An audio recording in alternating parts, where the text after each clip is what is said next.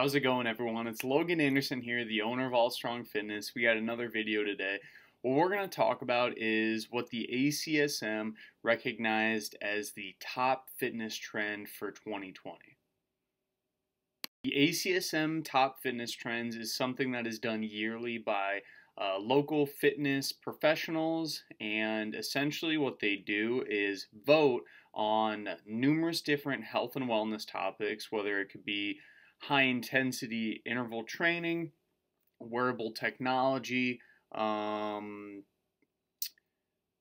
basically anything. Um, online fitness, um, in person fitness, just regular personal training, um, at home training. All these different aspects are just uh, basically different niche things involved with health and wellness that have kind of evolved over the years. So every year, to kind of show the progression and just kind of what's in the phase, they do this survey and essentially rank. Um, usually it's around 40 ish. I believe this year is 41 topics. So um, this year's topic, believe it or not, the top one was online fitness. And I'm sure that nobody is surprised with that with the pandemic that the implementation of um, local gyms doing a lot more online fitness stuff, uh, personal trainers who might have been more in person are moving towards either a hybrid or completely online model to kind of allow flexibility in gyms closing,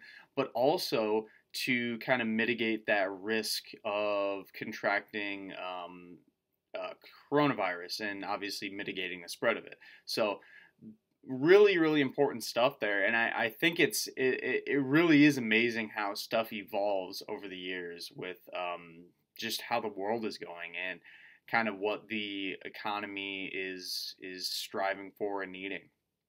Um, one of the things that i think is really interesting also is how like food delivery takeout has gone through the roof exponentially. Um, before the pandemic, um, DoorDash, Grubhub, um, Postmates, these types of things, they were still used, but not nearly as much.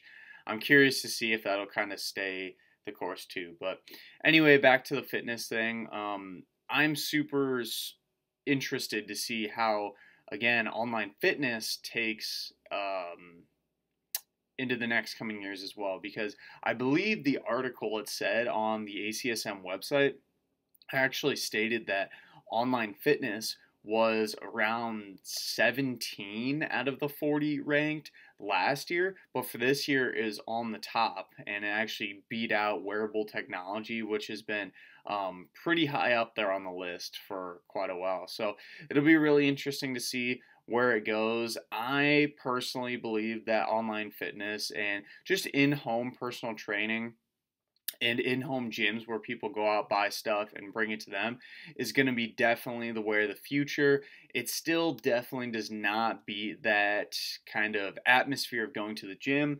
I have certain reasons why I like going to the gym too. Um, even though I don't even talk to a bunch of people, it's still nice just having people around you and kind of the chatter, the environment. Um, it's totally different. At the same time, though, I do like having a home gym as well. This gives me a lot of flexibility with time. Um, so I don't have to spend, you know, 20, 30 minutes out of my day driving to and from the gym, kind of the whole process. I can literally go down to my basement, start lifting and stuff, and be done um, in a super efficient time. So we'll see how this thing goes. Um, let me know what you think going forward with the fitness trends. Do you think online fitness is here to stay? Do you think it is going to kind of take a back seat? We'll have to wait and see. Uh, let me know what you think. Remember, like, comment, and subscribe, and we'll see you in the next one.